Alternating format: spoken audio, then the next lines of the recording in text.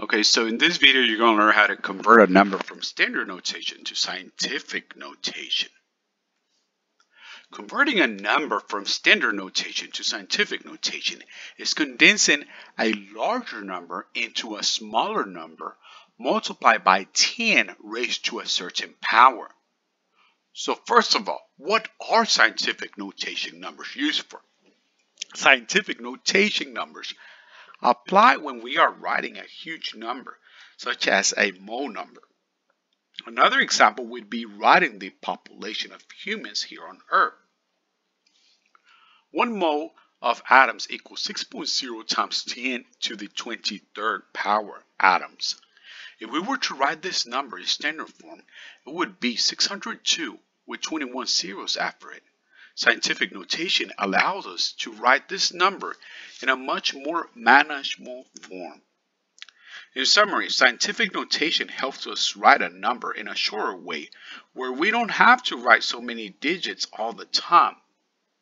If we did had to write the entire number, such as this example here, then it would it would consume a lot of a lot of time.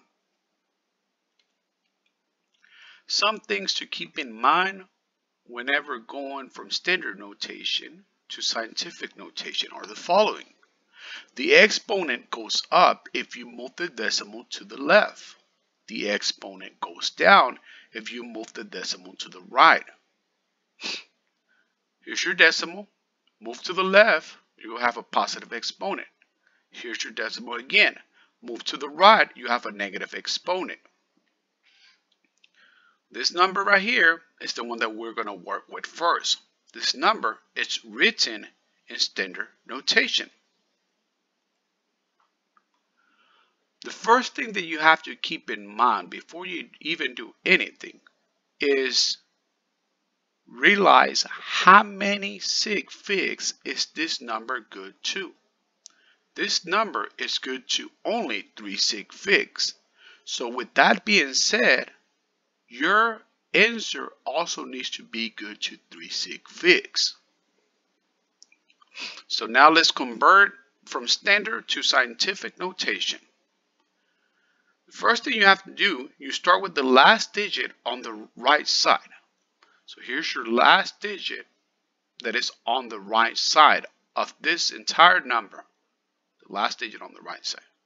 Now you're going to visualize a decimal point on the right side of this digit. So we're going to imagine that there's a, a decimal right here.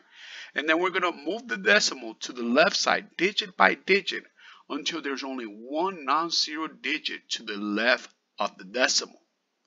A non-zero digit is basically any whole number that is not a zero. So let's go ahead and start here and let's go all the way to the left side until there's only one non-zero digit to the left of the decimal. So let's go. 1, 2, 3, 4, 5, 6, 7, 8, 9, 10, 11, 12, and 13. Okay? So we're going to write 2.53, 2.53, and times 10 to the 13th power. Notice that the exponent of 13 indicates the number of times we move our decimal. So the amount of times we went from here to here was 13 times. So that's where we get the 13 from. Um, and then I know my final answer can only have uh, three sig figs because when I saw this number, I knew it was only good to three sig figs. Now let's work with this examples here. Okay, so remember what we have to do first. You start with the last digit on the right side.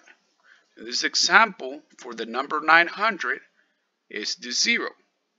And then now we're going to imagine that there's a decimal to the right side of this digit.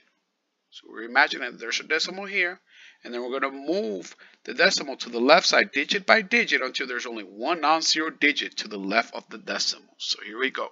1 and 2. So my, my decimal is going to go right there. And remember what I had told you in the beginning. Um, when you look at your given number, you have to keep in mind how many sig figs is this number good to. It's only good to one sig fig. Okay, so I'm only going to write a 9. You don't write 9 and then a decimal because the decimal is technically understood to be there already, even though you didn't write it or I didn't write it. So it's just 9 times 10 to the second power. Now over here, this number is good to 4 sig figs. And the reason it's good to 4 sig figs is because we have a decimal. We have a decimal, so that makes our trailing zeros become sig figs. Become 4, be, may, it helps us have 4 sig figs for this number. So therefore, if my given number has 4 sig figs, my answer also needs to be good to 4 sig figs. So you put your decimal here, you move to the left side, one, two, three. There's my three. And then I'll have 8.800 times 10 to the third power. And then and then for this here, for this number here, I'm going to have 3.65 times 10 to the fifth power. And for this number here, I'm going to have 2.15 times 10 to the eighth power.